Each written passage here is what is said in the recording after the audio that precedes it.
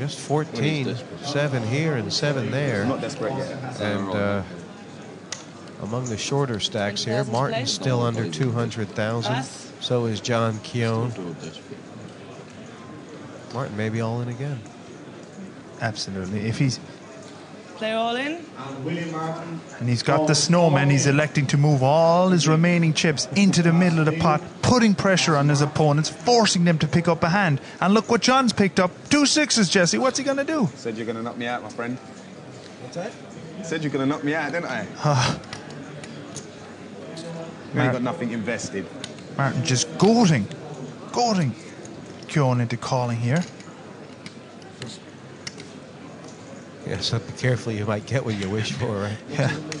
You're over me, aren't you? Huh? You're over me, aren't you? You want to count?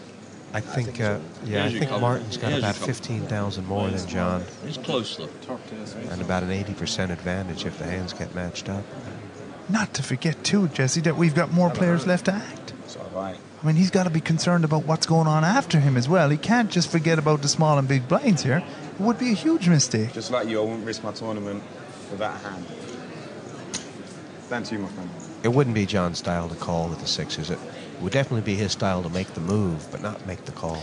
Yeah, you know, John's come a long way. Uh, is that you know mid pair is? Don't think I could fold it.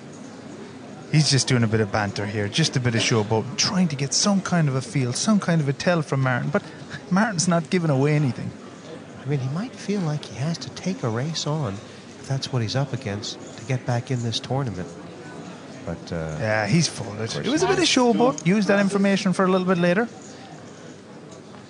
At uh, 180,000, it's pretty sturdy right now. It's Ro- only nine big blinds. Around to, and Eric's moved all in. Oh, re-all it. Oh, he's well, he's got the overcards.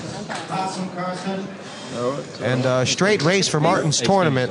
Larchevêque will have over 300 grand behind. William shows pocket eights. Sixes? And Eric shows ace king hearts. Good luck, William.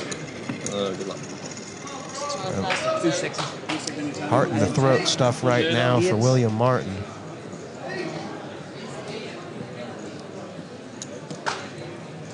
Good. And, uh, this hand appeared to have played itself so far. Didn't it? Ha, absolutely. How how good does John Keown feel right now? Right. Huh? Uh, sometimes all you can do is do what you 20, must. 60, 20, 40, 550. 60, Couldn't said it any better myself, Jesse. 100, Ace five. Bob Dylan has said Ace five suited. 100,000, 130, 140, 150, Obviously, want to make the 165, make sure they got the chip count correct. 170,000. Yeah, the story is that uh, obviously William Martin will be playing for a 390,000 pot, which will 8,000 in total. He's Oh, it'll put him- it'll put him just about average chip should he win. And uh, Larchevêque will be average chip should he lose. And uh, one of the chip leaders if he wins this pot. This will bring us down to We 13 have a race players. This is, uh, yeah, this is where it's time to start praying, hoping, looking at that lucky rabbit's foot. And the flop There's a king. is king, four, six. So Eric takes the lead. Wow, Bad news for Billy Martin. wow. It's end of the line stuff. He's gonna hit to hit one of the two remaining eights. Yeah. Ace. So That Eric doesn't change anything. Top two pair. He needs an eight and an eight only. And it's a five of spades. Ladies and gentlemen, we lose from the main event from England. William Yeah. Martin. It wasn't to be, Jesse. He's played three long days and will get a nice paycheck for his efforts, William Martin. Hopefully he'll be buying the drinks tonight, but he's got to feel pretty bad about that. You know, you you wait around, you hustle to try and survive. You pick up a hand, you move in. He got his hand in, he got money in with the best of it, but only a slight favourite, obviously. It was Man, it triple up then. yeah. wow. What's wrong with that? Well, obviously, unfortunately, I'm disappointed now just going out. But um, I've had a good tournament, played really good poker. Um, on the whole, you know, played really good. Um, won the races that I was in. Uh, unfortunately, the last race that I was in, I lost, and that's obviously the one that's gone out. But it's a really, really good event for me. I enjoyed it. Um, Ireland's been a very good place, and yeah, I've enjoyed being here. It's just an example, Kieran. Uh, if you hang around, you know, as soon as a rush comes, it can bring you right back into the thick of it. I mean, Keown now, 400,000. This is the most chips he's had in the whole tournament. He's been short stacked for days. And uh, he's got every chance. He's got every chance. Absolutely remarkable. Just remarkable. I, I'm such a big fan. I mean, this is unbelievable. I was talking to John's uh, buddy Henry on the one of the last breaks, and Henry was telling me, you know, give this man a few chips, and uh, there is no stopping him. Hello. Race. Race? 17 total. Race to Oh my 70,000 goodness. total. 70,000. 70,000 total. And of course, he's raising it to Relays Hassan. He's got a quick cut. Raised here by Yeah. Oh my God, he's walking up with ace eight. Oh, you said it, Jesse. Poor Mohammed has not had a lot of luck at this table. You cannot fold. Oh, okay, I'm in trouble then. It's impossible. Ladies and gentlemen, we have an uh, all-in here and call. You know, it's it's amazing.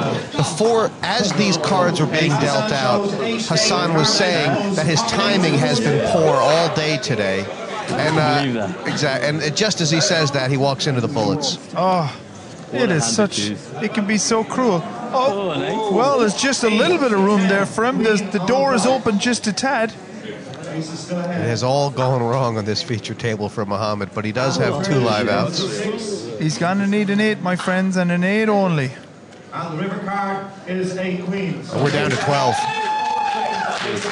Hassan Muhammad Ladies and gentlemen, Aces. done up. we lose Oh, wow. from the main event. Thanks. Hassan Mohammed. And he really didn't put a foot out of line all day, did he? It's just, it's right. The timing has been Played off. great.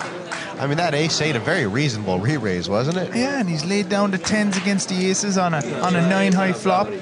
You know, he's played a perfect game and he's going home. Ah, it's tough to make sense of this game sometimes, but uh, just very unfortunate.